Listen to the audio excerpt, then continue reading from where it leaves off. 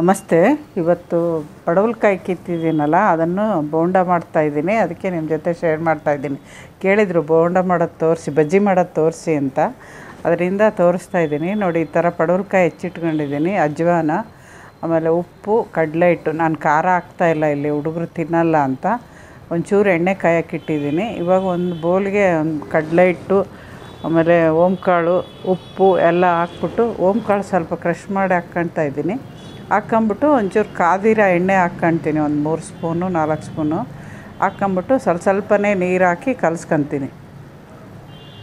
ಈ ಥರ ಕಾದಿರ ಎಣ್ಣೆ ಹಾಕಿದರೆ ಗರಿ ಗರಿ ಬರುತ್ತೆ. ಆಮೇಲೆ ಶೋಡಾ ಪುಡಿ, ಒಂದು ಒಂದು ಚಿಟಿಗೆ ಅಷ್ಟು, ಚಿಟಿಗೆ ಒಂಚೂರು ಮೇಲೆ ಹಾಕ್ಕೊಂಡು ಶೋಡಾ ಪುಡಿ, ಆಮೇಲೆ ಕಾದಿರ ಎಣ್ಣೆ ಎಲ್ಲ ಹಾಕಿ ಕಲಿಸ್ಕೋಬೇಕು ಮೊದಲು. ಎಲ್ಲ ಕಲಿಸ್ಕೊಂಡಾದ್ಮೇಲೆ ನೀರನ್ನು ನೋಡಿ ನೋಡಿ ಸ್ವಲ್ಪ ಸ್ವಲ್ಪನೇ ಸ್ವಲ್ಪ ಸ್ವಲ್ಪ ಬಜ್ಜಿ ಅದಕ್ಕೆ ಕಲಿಸ್ಕೋಬೇಕು. ಇವಾಗ ನಾನು ಎಣ್ಣೆ ಎಲ್ಲ ಬಿಸಿ ಇದೆ ಅಂತ ಸ್ಪೂನಲ್ಲಿ ಕಲಸಿದ್ದು, ಇವಾಗ ಕೈಯಿಂದ ಕಲಿಸ್ತಾ ಇದ್ದೀನಿ. ನೀರು ಸ್ವಲ್ಪ ಸ್ವಲ್ಪನೇ ಹಾಕ್ಕೊಂಡು ಕಲಿಸ್ತಾ ಇದ್ದೀನಿ ಇವಾಗ. ಯಾವ ಅದಕ್ಕೆ ಬೇಕೋ ನೋಡ್ಕೊಂಡು ಕಲಿಸ್ಕೋಬೇಕು. ತುಂಬ ಗಟ್ಟಿನೂ ಇರಬಾರ್ದು, ತುಂಬ ನೀರಾಗೂ ಇರಬಾರ್ದು. ಮೀಡಿಯಮಾಗಿದ್ದರೆ ಬಜ್ಜಿಗಳು ಚೆನ್ನಾಗಿರುತ್ತೆ. ಇದು ಪಡವಲ್ಕಾಯಿ ಪಲ್ಯ ಮಾಡೋಣ ಅಂದರೆ ಬಜ್ಜಿನೇ ಮಾಡು ಅಂತ ಮಕ್ಕಳು ಆಟ ಇದು ಮಾಡಿದ್ದಕ್ಕೆ ಬಜ್ಜಿ ಮಾಡ್ತಾ ಇದ್ದೀನಿ. ಇನ್ನೊಂದು ಸರಿ ಯಾವಾಗಾದ್ರೂ ಬಿಟ್ಟಾಗ ಇನ್ನೊಂದು ಸರಿ ಪಲ್ಯ ಮಾಡ್ತೀನಿ. ಇವಾಗ ನೋಡಿ ಆ ಥರ ಹೆಚ್ಕೊಂಡಿರೋದನ್ನ ಕ ಇಟ್ಟು ಅದಕ್ಕೆ ಬಂತಲ್ಲ, ಇದಕ್ಕೆ ಇವಾಗ ಅಜ್ಜಿ ಅಜ್ಜಿ ಬಜ್ಜಿ ಮಾಡ್ಕೊಂಡ್ರೆ ಬ ಅದೊಂದು ಸ್ವಲ್ಪ ಕೆಂಪಾಗಿ ಫ್ರೈ ಮಾಡ್ಕೊಂಡ್ರೆ ಬಜ್ಜಿ ರೆಡಿ ಆಗುತ್ತೆ. ಖಾರ ಬೇಕಾದವರು ಖಾರ ಹಾಕ್ಕೋಬೋದು ಒಣಖಾರ ಹಾಕ್ಕೋಬೋದು, ಖಾರದ ಪುಡಿ. ನಾನು ಖಾರ ಹಾಕಿಲ್ಲ, ಬರೀ ಉಪ್ಪು ಕಾಳು ಹಾಕಿದ್ದೀನಿ ಇಲ್ಲಿ. ಅದು ಒಂದು ಸ್ವಲ್ಪನೇ ಆಗುತ್ತೆ, ಒಂದೇ ಚಿಕ್ಕ ಕಾಯಿ ಅಲ್ವಾ? ಅದರಿಂದ ಆಮೇಲೆ ಲಾಸ್ಟಲ್ಲಿ ಉಳಿದಿರೋದಕ್ಕೆ ಒಂಚೂರು ಈರುಳ್ಳಿ ಹಾಕಿ ಬ, ಇದು ಪಕೋಡ ಮಾಡ್ಕೊತೀನಿ ಅಷ್ಟೇ. ಹೊಸಬ್ರು ಯಾರಾದರೂ ಫಸ್ಟ್ ಸರಿ ನಾನು ಚಾನಲ್ ನೋಡ್ತಿದ್ರೆ ಸಬ್ಸ್ಕ್ರೈಬ್ ಮಾಡ್ಕೊಂಡು ನೋಡಿ.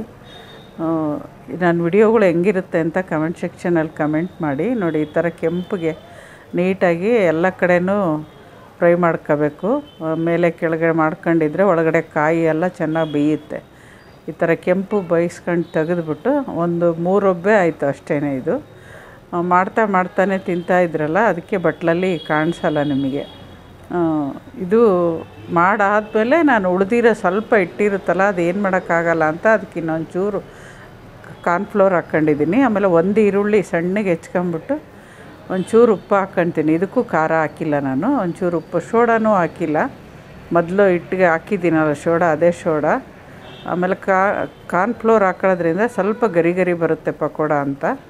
ಇವಾಗ ನೋಡಿ, ಆ ಈರುಳ್ಳಿನ ಅಷ್ಟು ಚ, ಕಲಸ್ಕೊಂಬಿಟ್ಟೋದು. ಇಷ್ಟಿಷ್ಟೇ ಚಿಕ್ಕ ಚಿಕ್ಕದಾಗಿ ಮಾಡ್ತೀನಿ. ಅದೇ ಒಂದು ಎರಡು ಒಬ್ಬೆ ಆಯ್ತು ಅಷ್ಟೇ.